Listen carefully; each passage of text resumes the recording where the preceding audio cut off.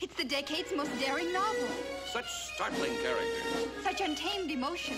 Now it's the frankest motion picture ever made.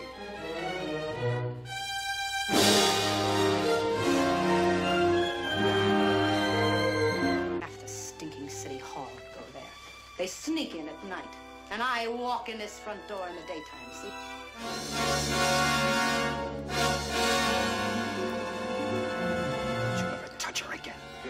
No good. And don't lie to me about trying to help.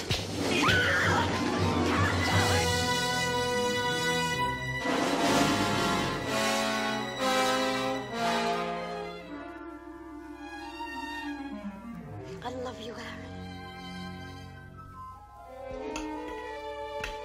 He's watching us. No, he isn't. Yes, he is too. Let's move over here. Yes, life in its every emotion leaps from the pages of John Steinbeck's best of all his bestsellers. And to bring new vitality to every explosive chapter, to capture for you the stark realism of people who love so deeply, hate so fiercely, live so recklessly, Warner Brothers had to seek out vibrant new personalities, tap new sources of talent, create new stars. James Dean as Cal, the wildest boy you've ever met. Julie Harris as Abra, the most outspoken girl you've ever known. Jo Van Fleet as Kate, the most wicked woman you've ever seen.